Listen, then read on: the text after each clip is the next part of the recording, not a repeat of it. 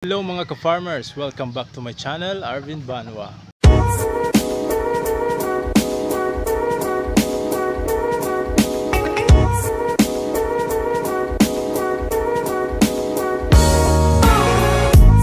So ngayong umaga mga ka-farmers, ah, dito naman tayo sa ating mga game fowl. So magpupurga tayo ng manok at magpapaligo ng ah, mga stag natin. So ito sila mga ka-farmers.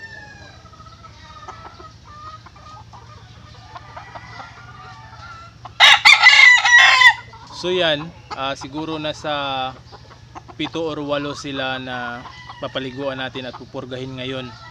So samahan niyo ko mga ka-farmers at ah, mamaya ah, ipapakita ko sa inyo kung ano ang ginagamit kong pamurga at pamali- pangligo ng manok na mga ito. So let's go mga ka-farmers.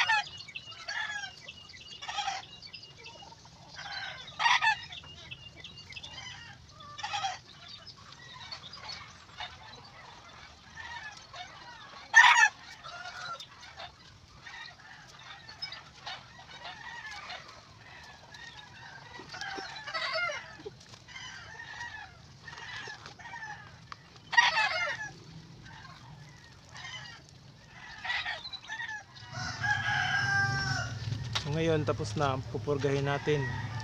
So ito hammer dewormer mga ka-farmers.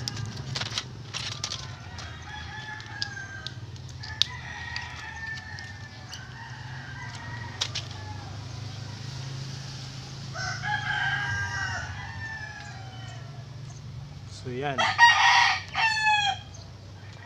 Tapos ibilad na natin sa araw.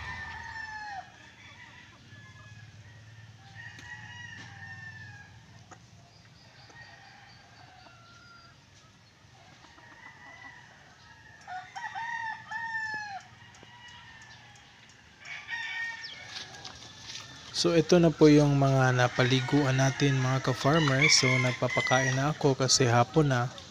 So yan, dry na ang kanilang mga balahibo.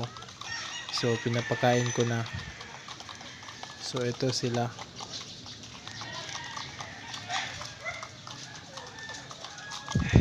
Yung iba naman mga ka-farmers, ah, meron akong tatlong tinali, naka-cord na ito. So ito ang tatlo at yung iba nasa unahan. Kasi naglalaban na ito. So kaya ako na tinali.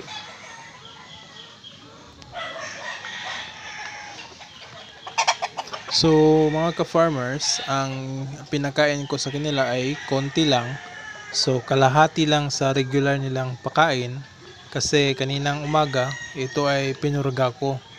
So ngayon, konti lang ipapakain ko at mamaya papainumin ko ito ng tubig. So yan mga ka-farmers, ito ay sweater.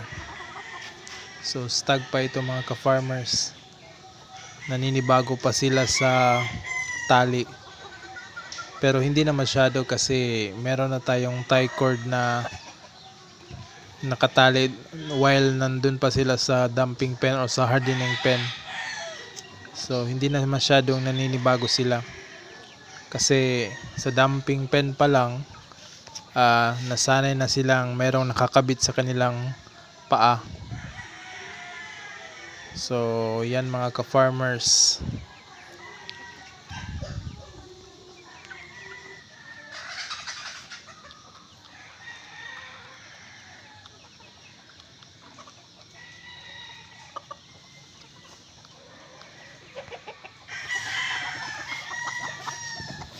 So ito yung mga manok ko mga ka-farmers. So steady lang sila sa cording area kasi wala pang bumibili.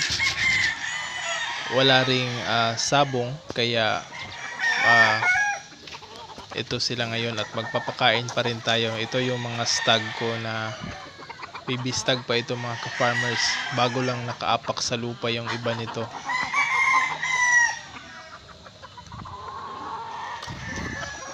So hanggang dito na lang ako mga ka-farmers at maraming salamat sa panonood ng video na ito. Sana sa hindi pa nakasubscribe, sana mag-subscribe kayo at hit yung notification bell para updated kayo sa next video ko. So maraming salamat sa inyong panonood mga ka-farmers, mga idol. So thank you very much. So see you sa next video natin. So please like, subscribe, and share. Thank you mga ka-farmers. Happy farming!